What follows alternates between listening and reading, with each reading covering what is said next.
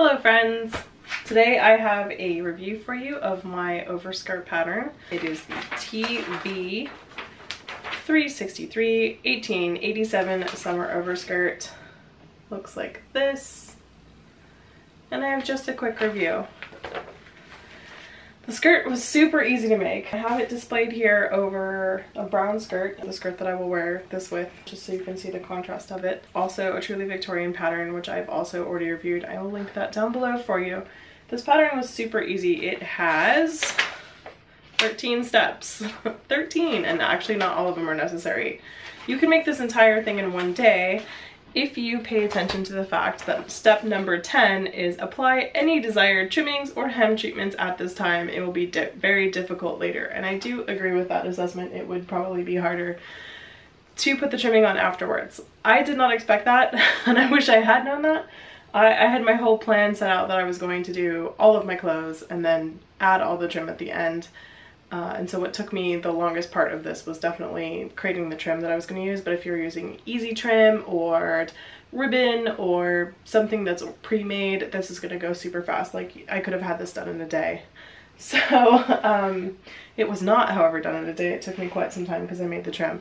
But um, the skirt itself actually easily in one day, no problem. All of the instructions were super clear, except number 11 cut one tape to the width of the bustle, so that's like the size of the bustle that's there, and sew tape ends to the inside of back a few inches below the side seams. So the thing you have to know is that the side seams uh, actually get pleated upwards. They actually don't say pleat up or down. I decided to pleat up, so that is something that you also probably need to decide for yourself, but you could do it either way. They don't specify. Uh, the side seam stops, but then the side of the trim keeps going. Uh, so you do have quite a bit of space there.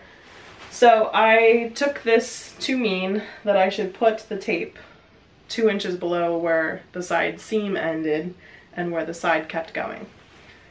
So that is my interpretation, but that particular instruction was not that clear to me and it took me quite a bit of time to like figure out what I wanted to do or what that meant to me or whatever. Other people might have different interpretations. I don't actually know what Truly Victorian has to say about it. I could probably email them and ask them and they would let me know if I did this correctly, but I will just ask them at costume college. uh, I think this skirt is very simple, very easy. A beginner can make this skirt no problem. The overskirt um, and the skirt that goes underneath it, both are totally acceptable for beginners, especially if you're not going to hand pleat all your trim.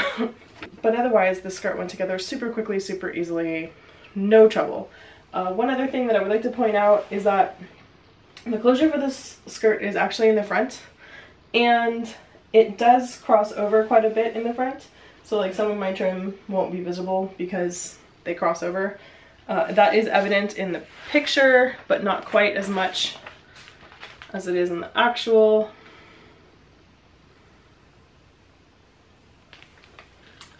This skirt is very easy, it's very light, it's uh, beautiful, it is uh, definitely period appropriate.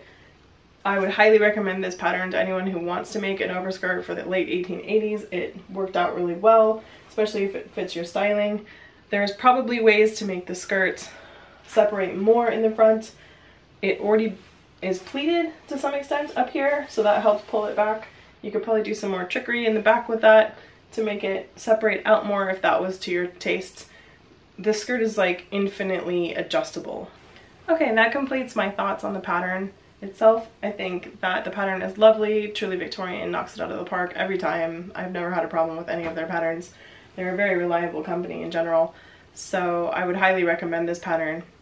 If you like this review, give it a thumbs up, subscribe if you haven't, and I will see you guys next time with another vlog or another review. Have a great day, guys!